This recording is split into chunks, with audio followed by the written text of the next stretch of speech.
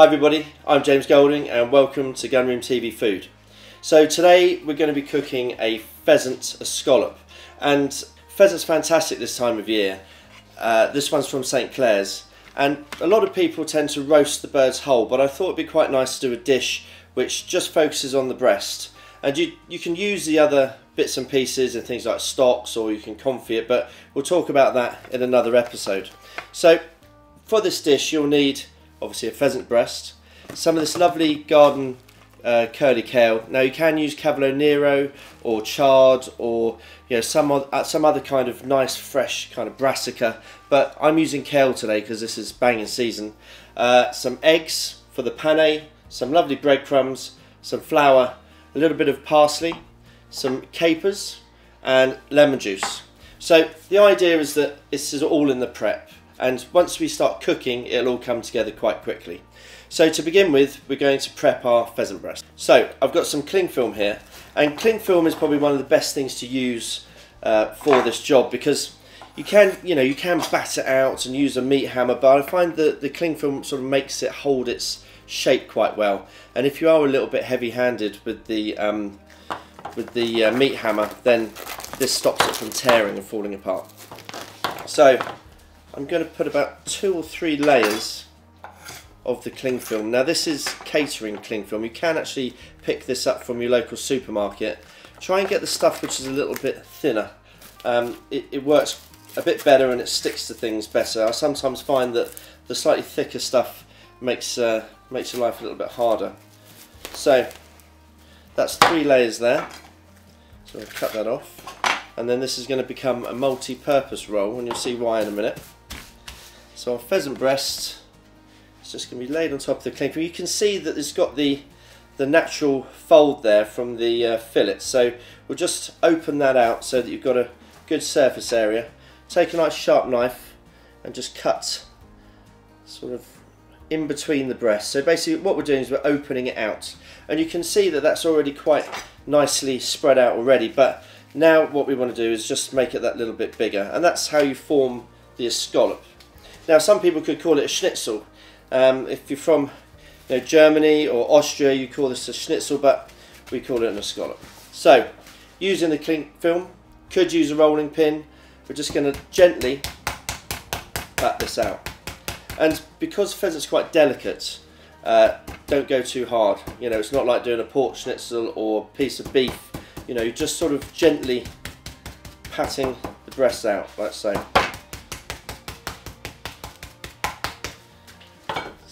Have a little check. Feel free to just have a look every now and again. That looks absolutely perfect. So, I'm just going to grab some salt. We're going to lightly season this now with a little bit of blackthorn salt. And both sides, so flip it over. And you could season this afterwards, but because we're pan frying this, it'll get nice and crispy on the outside. So when you when you season it afterwards, the salt tends to fall off. So that's why I do this at this stage of the process. So we're patting that down. That's just to get all the salt in there. And then we have our pane. So a pane is basically a very posh way of saying flour, uh, eggs and breadcrumbs. So I've got some little trays here. Set this to one side and we'll set that up. So you want to think about the process. We're going to start off with flouring the, the pheasant, then it's going into the egg wash, which is kind of our glue, and then into our breadcrumbs. So we want to make sure that that's all in the right order. Should do it this way. There we go. So one egg will probably do the trick. Crack that in. And then with a whisk, just going to break that. Like so. And we've got our flour. And you can use plain flour is absolutely fine. You don't need to be using anything other than that really. So we're going to gently flour this down. And we want to cover the whole breast of the pheasant. Use your hands to kind of even it out. And then into our egg. And then into the breadcrumbs. Now these breadcrumbs, I, I didn't buy these, I made these. And it's very, very easy. You just set your oven to the lowest setting, put some sliced bread in there. I, I used uh, malted for this. And leave it in there for about sort of 10-15 minutes. And then just blitz them up in a food processor or a blender. And there you go. So I'm actually going to leave that now in the breadcrumbs while we sort out the kale. Okay, so now it's time for the kale. And this is kind of my top tip really. You can blanch this in boiling hot water, you can put it in a pan, whatever you like to do. I would advise you not to fry it um, without blanching it first. So one of the ways I quite like to prepare my kale is with boiling water straight from the kettle. And what this does is it blanches it quite quickly, but at the same time doesn't allow it to overcook.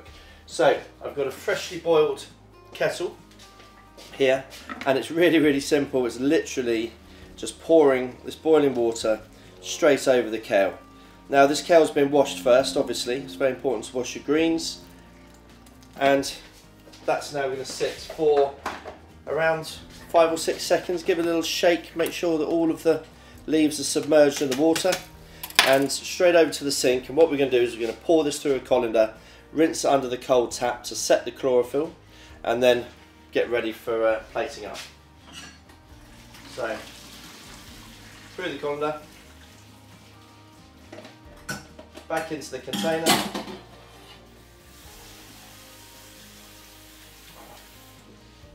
As you can see, we've just rinsed it under the cold tap, and what that's doing is it's stopping it from going brown.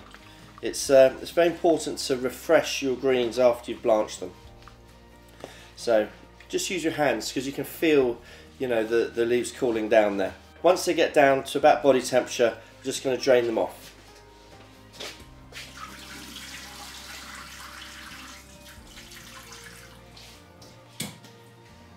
Okay, so we'll set those to one side. Now it's time to cook our pheasant escallop. You'll need the pheasant breast that's been sat in the breadcrumbs and uh, a nice amount of uh, rapeseed oil. So we'll go to the stove and cook this now. For the pheasant breast you need to have a nice large non-stick frying pan. I quite like using the non-stick pan because the uh, breadcrumbs fry nicely on it and they don't stick. So it's quite important that you don't burn this because any burning of the breadcrumbs will mean it goes a little bit bitter. And the idea is we want to cook this and get it nice and crispy before the breadcrumbs are overcooked. So we've got some cold pressed rapeseed oil. I'm going to add a good amount into the pan because it's almost like you're shallow frying. It's not, it's not a sort of quick sear. This is a, a, a nice sort of gentle uh, shallow fry. So that's coming up to temperature now. We've got our pheasant breast. As you can see, all the breadcrumbs are nicely stuck to that. There's no patches or anything like that on the breast, which could possibly, you know, cause it to overcook. So, gently into the pan. Now, you want it to start bubbling around the edges. You don't want it to fry. You don't want it to make that sort of, tss, you know, searing noise, which I do talk about in my other um, recipes. The pheasant is now starting to bubble up around the sides. So we're going to keep an eye on that. Give it a little kind of wiggle so to get some of that oil underneath. And we're probably looking at about two or three minutes each side. So we'll drop that down to a medium-high heat and we'll talk a little bit about the sauce. So for the sauce, this is basically what the French would call a beurre noisette. Over here we call it a brown butter sauce and it's very classic. You can serve it with fish um, but we also like to serve it with meat and there's different variations on the fish side and the meat side but the, the whole process is still very very similar. So the idea is, is that we're going to cook the butter down until the point where the butter milk starts to colour up and get that lovely nutty flavour.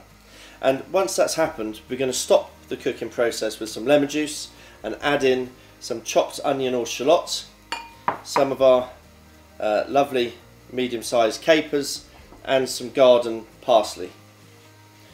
So let's go and check our pheasant. Oh, that's looking good.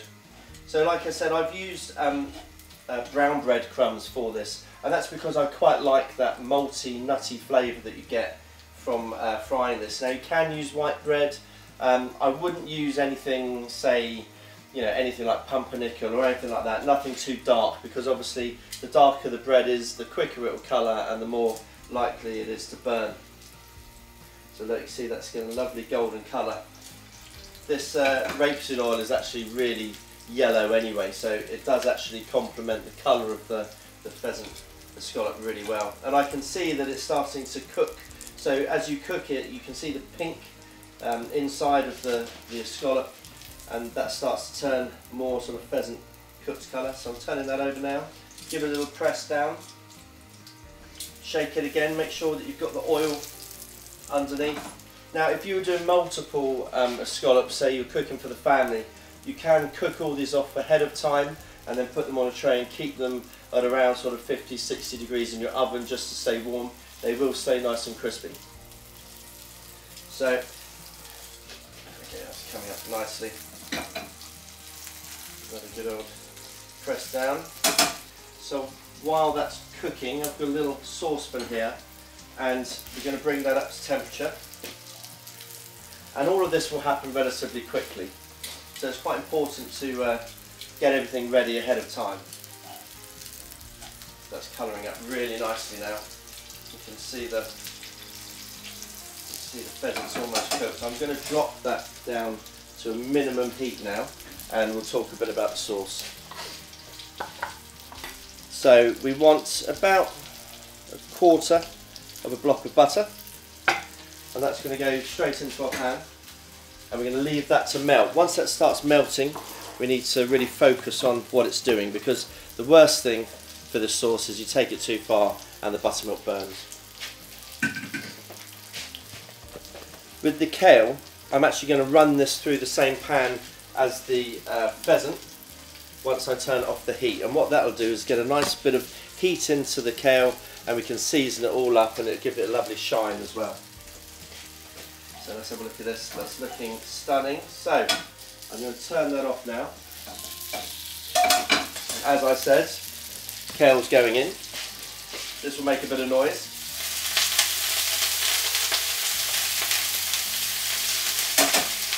And we shall season this, give it a bit of salt.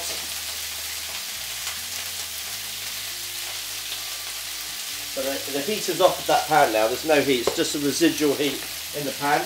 And you see our butter's coming up nicely now.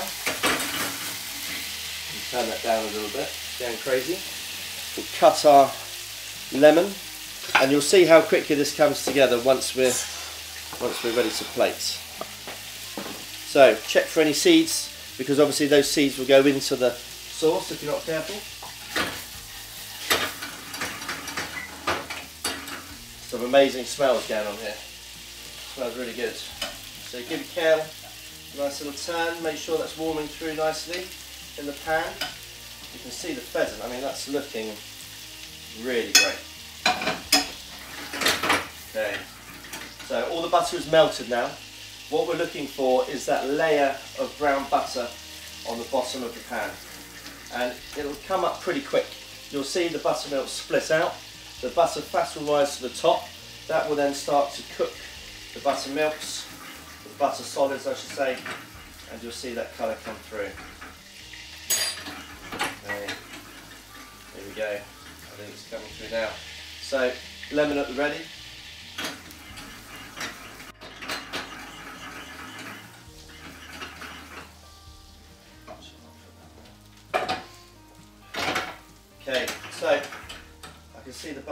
Foaming up.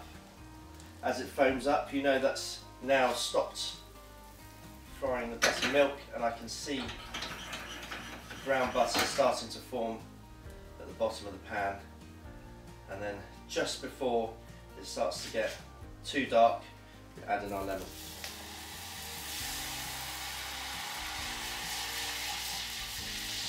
Bring that over now. We'll add in our onions our capers, do all of them, and our chopped parsley. Now, the reason why you put the lemon juice in first is so that when you put all these other ingredients in, they don't burn and fry. We want them just to warm through gently. This is a very delicate sauce, and uh, if you add them in while the butter's frying hot, then it just turns everything off colour.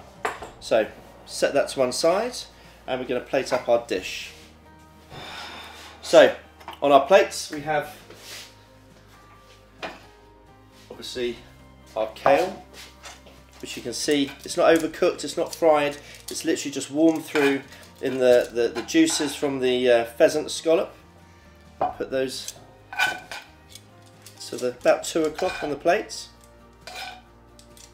Got our perfectly golden brown pheasant scallop.